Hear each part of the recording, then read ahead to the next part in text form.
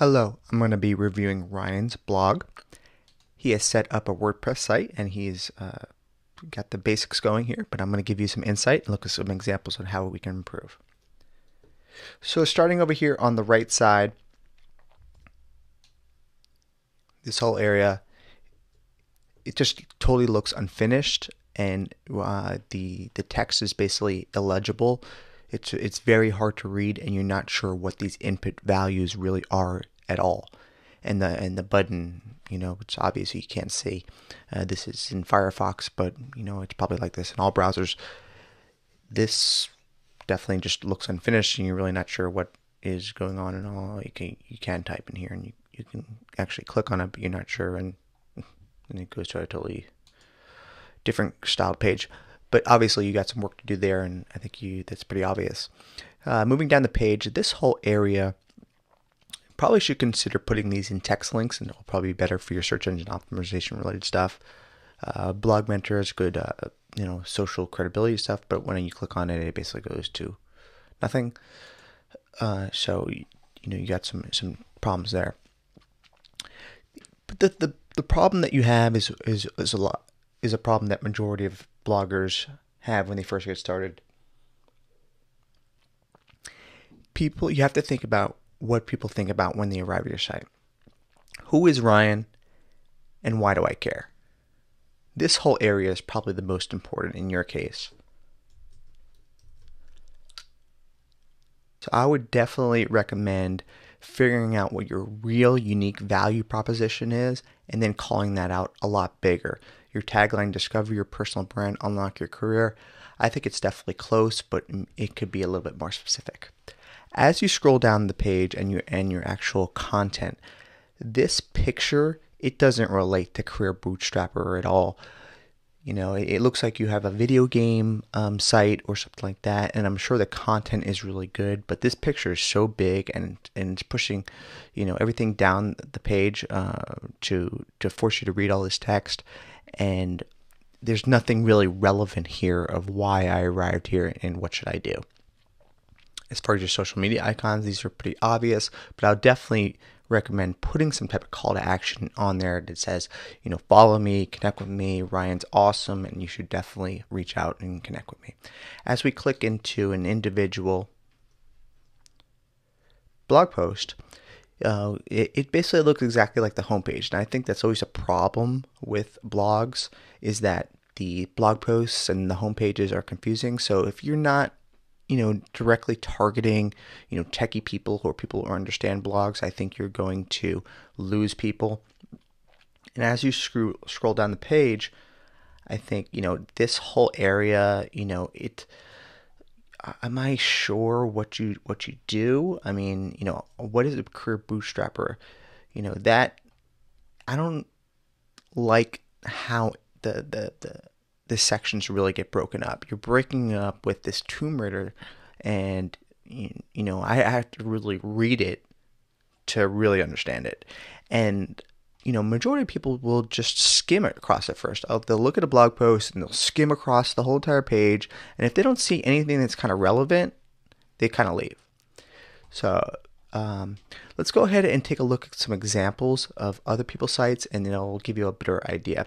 And I think there'll be a consistency across all of these because they're all basically personal brands that are doing blogging. In this case, Jim's marketing blog, his unique value proposition is called out right here and he's really introducing himself. The the main thing he wants to get people to do is to fill out this this form and sign up. So, you know, it, the, the, the visual hierarchy of the page is correct and it's similar to yours because you have a white background as well. So, this is a great example. You know, he's calling out the links very obvious. On yours, your links are, um, go back to the homepage here.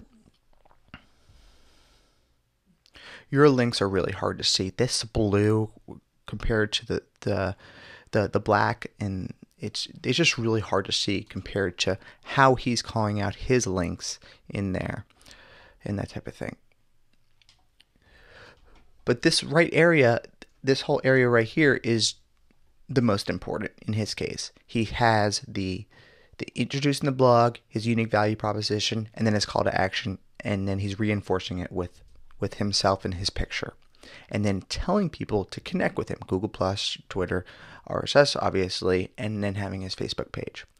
But you also see how he's breaking up the page with his bullets and his spacing. That's really nice because I can literally skim across this and read it without necessarily reading every single piece of text. You don't want to force everybody to read all of your text. So as I sc- scroll down here, down the page, I'm able to read, for example, bullet, bullet, your clients deserve the best work solution right into another blog post. And you'll see that consistently across some other examples I'll show you. Take a look at Michael Hyatt. He is using his picture that you usually look at first with a large um, uh, logo, and his value proposition is that he's helping leaders leverage influence. And that scrolls right into this social proof and this credibility he's creating by putting these logos on there and then reinforcing it with get your free book. This picture is directly related to that call to action and then getting people to uh, fill out that form. And then within each of these form fields, he's showing enter your first name, enter your email address, get updates. Uh, uh, you know, so you may not want to necessarily get people to actually, you know, download this book or do what all these other people are doing but you do want them to collect that lead and uh, give people in something in return, something of value, so they can return back to your site. So you're really creating a relationship with them. Here's another example of how Brian's doing it. His focal point is his picture, and that leads your eye directly down into his call to action. Sign up for free uh, for email updates. So getting people on his list so he can send him his valuable content and you know his his uh, blog content is then also broken up into these nice little sections of headline, picture, quote, and it's really broken up by these nice pictures that are kind of valuable to what he's talking about. You know, clear. He's using blue and black, but he's underlining, so it's clear that you can actually click on those things and you know also using these, these nice break bro- broken open text and, and, and, nice spacing as well. Another example is uh, how Navid's doing it. He's breaking out his his um, his name and his and his uh, logo in the, in this section, and then your eye instantly goes over to this this block that uses the white text on the black background and getting people to enter the email address.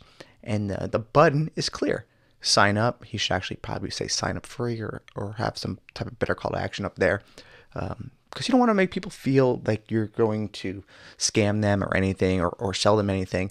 So you want to make, if it's free, tell them it's free, give them something in return. Also, he has a nice lifestyle picture up there. He's obviously talking about lifestyle. So, you know, if, um, you know, in this case, you know, as you scroll down, you know, this picture is obviously related to 15 blog uh, business uh, podcasts. So it's clear of what he's really trying to accomplish, and then calling out each of his elements on what you wanted to do. He wants to get you to sign up for his uh, Facebook page and and that type of thing. And the last example that I'll take a look at is Chris Brogan. We'll take a look at his homepage. He's doing a great job. He obviously has, um, you know, pretty skilled in in uh, having his custom blog design, but he's teasing his content just like you are as well, and then giving this him this nice people this nice big button so they can click to read more. And as you click to read more, you know, you know, his clearly calling out his title and then driving your eye down to you know Chris Chris Brogan. Okay, who is this guy? Obviously, you can click to learn more, and that leads you right into your lead generation form. So in your case, I think uh, you know you're off to a very good start. But if you can take a look at those examples, then you can you know take a look at what they're doing, and you can do the same thing. And um, you know the value of your content is definitely the most important. But putting some of these best practices in place, I think, could be the right direction for you. Thank you, Ryan. I hope you uh, find this of value, and let me know if you have questions. Talk to you later.